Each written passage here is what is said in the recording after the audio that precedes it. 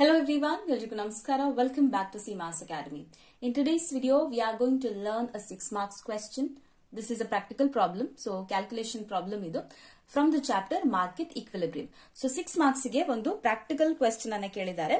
So we shall read what is the question Suppose the demand and supply curves of wheat are given by QD ಅಂದ್ರೆ demand equation ಇದು QD is equal to 200 minus P. P is the price, okay? And QS is equal to 120 plus P. This is the supply equation. QS is the supply equation. QD is the demand equation.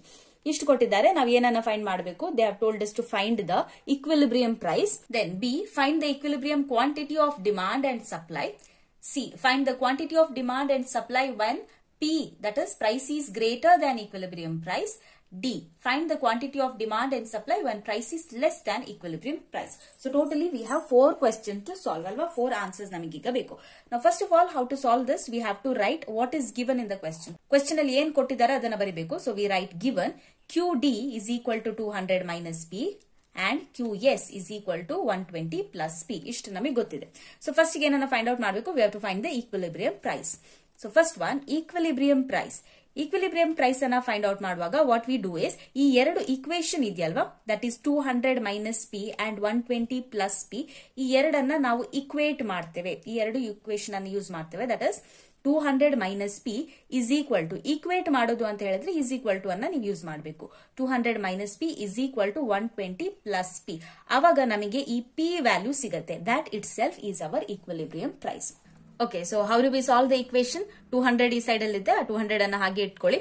Equal ಸೈಡಿನ ಆಚೆ ಸೈಡ್ಗೆ one twenty number ಇದೆ. ಆ one ಟ್ವೆಂಟಿಯನ್ನ when you bring to the other side of the equal to it becomes minus ಅಲ್ವಾ? Because nothing is there here which means it is plus when plus 120 comes to the other side of the equal sign, it becomes minus 120 so 200 one 120 is equal to ಇಲ್ಲಿ P ಇದೆ, ಅದನ್ನ ಇದಾಗೆ ಬರೀರಿ. P plus p. ಅಂದ್ರೆ ಇಲ್ಲಿ minus P ಇತ್ತಲ್ವಾ? That will go to the other side. So it becomes p here as it is minus p goes to the other side it becomes plus p 200 minus 120 is how much 80 which is equal to p plus p so coefficient ಏನು ಇಲ್ಲದಿದ್ರೆ it will be one here and here also it is one so two P ಆಯ್ತು there four P is equal to eighty divided by two answer is forty so this is our equilibrium price equilibrium price ಎಷ್ಟು forty Now, what is the second question? Second question is find the equilibrium quantity of demand and supply. So equilibrium quantity demanded ಎಷ್ಟು and equilibrium quantity supplied ಎಷ್ಟು ಅದನ್ನ ನಾವು find out ಮಾಡಬೇಕು. ನಾವು already equilibrium price ನಮಗೆ ಸಿಕ್ಕಿದೆ from the first solution that is forty ಅಲ್ವಾ? So ಈಗ ಏನಿಲ್ಲ ನಮಗೆ ಇಕ್ವೇಶನ್ ಗೊತ್ತಿದೆ. ಕ್ಯೂ ಡಿ ಕ್ವಾಂಟಿಟಿ ಡಿಮಾಂಡೆಡ್ ಇದು ಇಕ್ವೇಶನ್ ಗೊತ್ತಿದೆ. ಕ್ವಾಂಟಿಟಿ ಸಪ್ಲೈಡ್ ಅದು ಕೂಡ ಇಕ್ವೇಶನ್ ಗೊತ್ತಿದೆ. ಪ್ರೈಸ್ ಕೂಡ ಈಗ ಗೊತ್ತಾಯಿತು that is forty just substitute the value So, we are substituting P with 40. We get QD is equal to 200 minus P. So 200 minus 40. ಈ P place ಅಲ್ಲಿ ನೀವು ಫಾರ್ಟಿ ಅನ್ನ ಹಾಕಬೇಕು ಸಬ್ಸ್ಟಿಟ್ಯೂಟ್ ಮಾಡಬೇಕು okay so two hundred minus forty therefore quantity demanded becomes how much one sixty okay ಅದೇ ರೀತಿ quantity ಸಪ್ಲೈಡ್ಗೂ ಕೂಡ equation is there one twenty plus P signs ಅನ್ನ ಕರೆಕ್ಟ್ ಆಗಿ ನೋಡ್ಕೊಳ್ಳಿ. It is one twenty plus P so one twenty plus P one twenty plus forty the price is forty here so one twenty plus forty the answer is one sixty So therefore, equilibrium quantity of demand is equal to 160. Equilibrium quantity of supply is also equal to 160. Now we shall move to the third question. Third question ಕೇಳಿದ್ದಾರೆ find the quantity of demand and supply when price is greater than equilibrium price. Okay, price is greater than equilibrium price. Now how will we solve this? Third question. When price is greater than equilibrium price so ಈ price ಅನ್ನ ನಾವು ಎಷ್ಟು ತಗೊಳ್ಬೇಕು? Price ಅನ್ನ equilibrium price ಎಷ್ಟು ಬಂದಿತ್ತಲ್ವಾ? ಅದಕ್ಕಿಂತ ಹೆಚ್ಚು ತಗೊಂಡು ಎಷ್ಟು ಆನ್ಸರ್ ಬರುತ್ತೆ ಅಂತ ನೋಡಬೇಕು. ಸೊ ಈಕ್ವಿಲಿಬ್ರಿಯಂ ಪ್ರೈಸ್ ಎಷ್ಟು ಆಲ್ರೆಡಿ ನಾವು ಕ್ಯಾಲ್ಕುಲೇಟ್ ಮಾಡಿದ್ದೇವೆ ದಟ್ ವಾಸ್ ಫಾರ್ಟಿ ನಾವು if that price is greater than the equilibrium price okay so ಫಾರ್ಟಿಗಿಂತ ಹೆಚ್ಚಿನ ವ್ಯಾಲ್ಯೂಸ್ ಇದ್ರೆ ಕ್ವಾಂಟಿಟಿ ಡಿಮಾಂಡೆಡ್ ಮತ್ತು ಕ್ವಾಂಟಿಟಿ ಸಪ್ಲೈಡ್ ಅಲ್ಲಿ ಏನ್ ಚೇಂಜಸ್ ಬರುತ್ತೆ, ಎಷ್ಟು ಆನ್ಸರ್ ಬರುತ್ತೆ ಅಂತ ಕೇಳಿದಾರೆ ಅವರು. ಸೊ ಈಗ ನಾವ್ ಏನ್ ಮಾಡಬೇಕು ಅಂತ ಹೇಳಿದ್ರೆ we have to take price as 42 you can take 43 you can take 44 you can take 45 also okay? We are taking a uh, smaller value. So 40 ಗಿಂತ ಹೆಚ್ಚಿನ ವ್ಯಾಲ್ಯೂ ತಗೊಳ್ಬೇಕಷ್ಟೇ ನೀವು ಯಾವ ನಂಬರ್ ಬೇಕಾದ್ರೂ ಹಾಕಿಕೊಳ್ಬಹುದು ನಿಮಗೆ ಕ್ಯಾಲ್ಕುಲೇಷನ್ಗೆ ಸಿಂಪಲ್ ಆಗುವಂತ ವ್ಯಾಲ್ಯೂಸ್ ಅನ್ನ ತಗೊಳ್ಳಿ.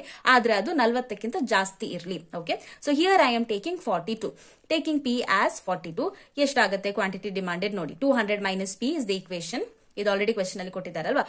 200 minus 42 that is equal to 158 now, quantity supplied equation is 120 plus p. So 120 plus 42 price ಅನ್ನ ನೀವು 42 ಆಗಿ ತಗೊಂಡ್ರೆ ಕ್ವಾಂಟಿಟಿ ಸಪ್ಲೈಡ್ ಎಷ್ಟಾಗುತ್ತೆ? 162 ಆಗುತ್ತೆ ವಿಚ್ ಮೀನ್ಸ್ ಕ್ವಾಂಟಿಟಿ ಡಿಮಾಂಡೆಡ್ ಮತ್ತು quantity supplied is not the same and quantity supplied is higher than the quantity demanded if we are taking a higher price ಅಲ್ವಾ? So ಏನ್ ಬರಿಬಹುದು therefore we can write when price is greater than the equilibrium price ನಾವು price ಅನ್ನ equilibrium price ಗಿಂತ ಹೆಚ್ಚು ತಗೊಂಡ್ರೆ ಏನಾಗುತ್ತೆ quantity demanded is less ನೋಡಿ quantity demanded is one fifty eight ಅಲ್ವಾ is less that is one fifty eight and quantity of supply is more that is one sixty two Similarly, the next question was find the quantity of demand and supply when price is less than equilibrium price. Equilibrium price is to 40. So, ಈಗ ನಾವು ಎಷ್ಟು ತಗೊಳ್ಬೇಕು price ಅನ್ನ 40 ಗಿಂತ ಕಡಿಮೆ ತಗೊಳ್ಬೇಕು ಅಲ್ವಾ so you can take any value less than forty ನಾನು ಇಲ್ಲಿ ಥರ್ಟಿ ಏಟ್ ಅಂತ ತಗೊಂಡಿದ್ದೇನೆ okay So, when price is less than equilibrium price, we are taking p as 38 you can take 39 you can take 37 36 35 anything okay but ಅದು 40 ಗಿಂತ ಕಡಿಮೆ ಇರಬೇಕು ಈಗ now we are taking 38 for now quantity demanded equation 200 minus p so 200 minus ಎಷ್ಟು ಹಾಕ್ಬೇಕು ಈಗ ನಾನು price 38 ಹಾಕ್ಬೇಕು ಅಲ್ವಾ so 200 minus 38 answer is 162 quantity supplied here 120 plus p is the equation so 120 plus 38 ಮಾಡಿದ್ರೆ answer 158 ಆಗುತ್ತೆ so now what we can see we can see here that therefore when the price is less than equilibrium price when the price is less than equilibrium price ಏನಾಗುತ್ತೆ quantity demanded is more ಅಲ್ವಾ see it is 162 here and quantity supplied is less that is 158 so that was it for today's video i hope the video was useful and contents useful ಆಗ್ತಾ ಇದ್ರೆ ನಿಮಗೆ channel ಅನ್ನ subscribe ಮಾಡಿ ಯಾಕಂದ್ರೆ next time ನಾನು videos ಗಳನ್ನ post ಮಾಡಿದಾಗ ನಿಮಗೆ ನೋಟಿಫಿಕೇಶನ್ ಬರುತ್ತೆ ಓಕೆ ಕಮೆಂಟ್ ಮಾಡಿ ಫ್ರೆಂಡ್ಸ್ ಜೊತೆ ಕೂಡ ಶೇರ್ ಮಾಡಿ don't keep it to yourself let your classmates your friends also get the benefit okay uh, that is all for today's video thank you so much for watching again see you in the next video till then take care bye namaste